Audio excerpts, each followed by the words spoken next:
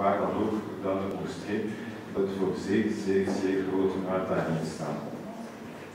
Uh, ik vind dan ook dat de media dat voor een stuk ook pervers speelt en uh, aandacht verlegt naar mediatieke probleempjes die makkelijk uh, gemaakt worden, zich wegsteekt achter verkoopcijfers en noem maar op, een, soort van laatste nieuws, VTM-tendens aan het leggen, ook de kwaliteitspersen helaas, en dat ze zich vergaten op uh, akkefietjes, en ik noem dat ook een akkefietjes, sorry dat ik het ook zo zeg, zoals in Brussel half vier worden. Dit lijkt een onnoemelijk probleem voor de Vlaamse beweging, maar als je ziet welke problemen er zich op, uh, op ons afkomen, dan is Brussel alle vier woorden een akkefietje. Uh, dat een succes is als je naar Wallonië gaat, zijn de cijfers dramatisch. Is dramatisch. Uh, 40% spreekt thuis een andere taal. De gevolgen daarvan zijn enorm. Uh, dus als je niet op een zeker niveau kunt reflecteren en als je niet geschoold genoeg bent, dan is die meertaligheid geen troef, maar is dat een beletsel, is dat een belemmering om in te stromen op de arbeidsmarkt, om succesvol aan de maatschappelijke gebeuren deel te nemen. En dan zie je dat die mensen amper Nederlands gaan, wat Frans ook al geen truc En dat die in feite perspectiefloos, identiteitsloos, zich niet kunnen uitdrukken. Lacherig werd daarom gedaan. En ze bellen die man. En die man die viel gewoon uit de lucht. Die begreep dus niet waarom dat in Vlaanderen, en hij woonde daar toch al een aantal jaren, waarom dat er in Vlaanderen zo'n gelach, zo'n heisa was rond de taaluitgeving. Die kon dat gewoon niet plaatsen. Die begreep dus niet dat uh, de geschiedenis van de Vlaamse Wegen, ik ken de geschiedenis ook niet van, uh, van, uh, van Vlaanderen, uh, begreep ook niet dat er een enorm emancipatieproces was geweest, dat, dat wij jaren en decennia moeten vechten voor het Nederlandstalig, de kenning van de Nederlandstalige, Nederlandse taal in Vlaanderen. Hij begreep het allemaal niet, laat staan dat hij begreep dat je dus een, voertaal nodig hebt, de mainstream taal om je uit te drukken, om je correct en goed uit te drukken. En hij zei, ja maar zegt hij, en hij had wel eens een punt, iemand had dus een punt, en hij zei, ja maar moeten wij daar nu een probleem van maken?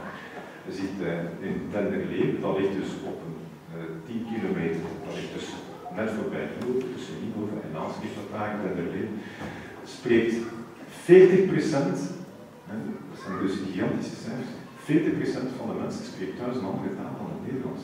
In Tenderleer. Dat is dus enorm.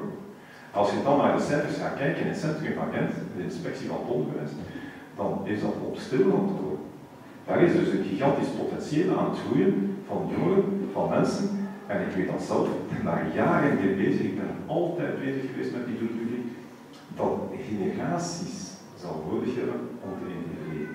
We spreken niet, en ik heb dat ook meegemaakt, de belachelijk, ik noem dat ronduit belachelijk en dramatisch verhaal van die integratiecursus, waarbij daar 10 uur de maatschappelijke vorming krijgt en dan 60 uur Nederlands en als je best doet krijg je nog eens 60 uur de rest. Dus eigenlijk triestig. Men heeft generaties nodig. We spreken dus over processen, zeer moeilijke processen, die jaren nodig hebben voor we die mensen te integreren. Dus laten we niet afschrikken door goedkope verhaaltjes. Dus je gezegd, ja, de feestleden, daarvoor zou iemand anders moeten vragen.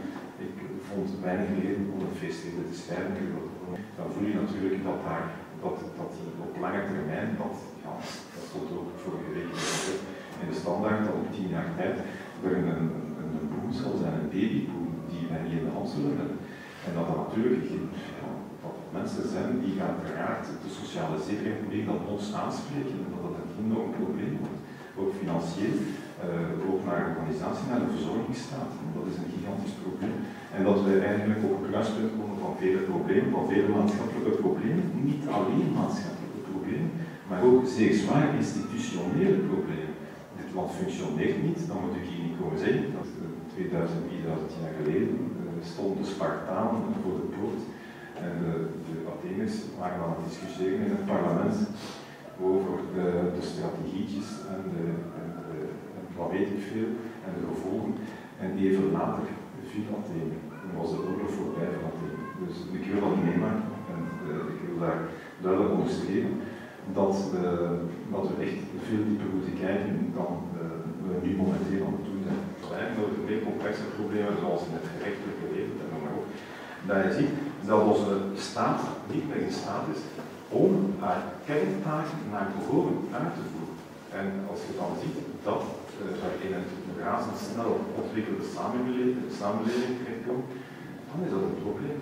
Dat is dat een gigantisch probleem. Je hoort dat niet onderschatten dat dat impact, dat die impact dagelijks wordt aangevoerd door iedereen die op een of andere manier ageert in de maatschappij. Uh, het verlies uh, van impact, laten we zeggen, gaat dan gepaard met een agressieve globalisering. Een agressieve globalisering, zoals we dat dagelijks meemaken, is in Vlaanderen. Vlaanderen is een van de uh, streken, de regio's in Europa die het meest internationaliseert. En je ziet dat dagelijks gebeuren. Uh, er stelt zich in toenemende mate af van internationale instituten een globaliserende markt, waarin dat, dat onze markt meer en meer een speelbal wordt. En wat zeg ik? Meer en meer een speelbal, een speelbal is van de internationale fluctuaties. En dan zie je dat als je naar de situatie in Griekenland gaat kijken, dat, uh, dat uh, de Europese Unie uh, heel wat zaken heeft afgenomen van ons, waardoor dat wij niet meer kunnen op, een, op een goede manier gaan op, of op een, op een laten we zeggen, een efficiënte manier gaan reageren op crisissituaties. Zoals bijvoorbeeld, vroeger kon je je punt laten devalueren, dat bestaat niet. In de jaren 80 was dat een van de reddingen van de Belgische economie. Was de devaluatie van de frank. Nu, als we ook met een zeer zware recessie terechtkomen, eh, dan kunnen we devalueren. Dat niet. Dus wij, En wat gaat er dan gebeuren? Wel, ja, het veertigste in verloren in België tenzij dat men de middenklasse nogmaals gaat zwaar belasten, uh, et cetera, et cetera, et cetera. Uh, we staan dus voor een spectaculair geval van de verzorgingsstaat die, binnen enkele jaren niet meer in staat is om bijvoorbeeld eenvoudigweg de pensioenen te bepalen die al tussen haakjes tot de laagste van Europa doorgaan. Nederland, Engeland, Groot-Brittannië, uh, dat zijn toch dat de nationale kwestie uh, op de voorgrond staat, uh, al wordt het niet op die manier genoemd. Het gaat er altijd over die mainstream cultuur die daar aanwezig is, over een draagkracht dat ontbreekt, over de staat die niet meer kan functioneren, over gigantische problemen uh, die de overhand nemen.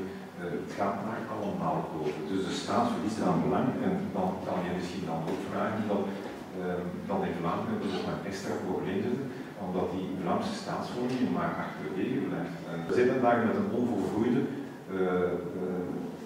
vorm of een onvolgroeide wil tot staatsvorming. Dus de staat, Vlaanderen als staat, dus de staatsvorming, dat is een essentiële gegeven voor ieder volk, maar in Vlaanderen blijkbaar niet. Men komt maar niet tot, een, tot, staat. en nogthans hebben de kaarten nog nooit zo goed gelegen als nu. En ze zullen waarschijnlijk nog nooit zo goed als nu. Want we zitten met drie V-partijen en als je die samentelt, dan is dat al een fameuze ploeg. En daar kunnen we ons wel niet toe. Maar toch komt men daar niet toe. nee, in tegendeel, men komt daar niet toe. Men gaat zich weer verliezen na de verkiezingen met de zoveelste onderhandeling. Dus wat mij ook een beetje tegen de post staat, is natuurlijk het toevoerloos gezwets op Vlaams niveau, zonder dat men echt weet van uh, waar willen wij binnen de Vlaamse staat binnen 10 en 10 jaar staan. Stuitend dat men vervalt in dagjespolitiek en heel gezwets.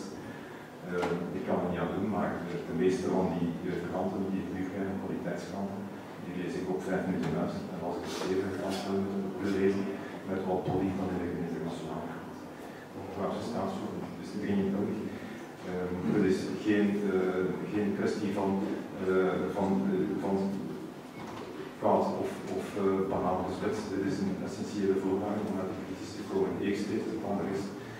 Um, maar om te eindigen, ja, om te eindigen wil ik dan toch wel ja, jullie een hart onder de riem steken. Ik denk dat het nodig blijft om de krachten te mobiliseren en te zorgen dat we elkaar vinden over de grenzen heen.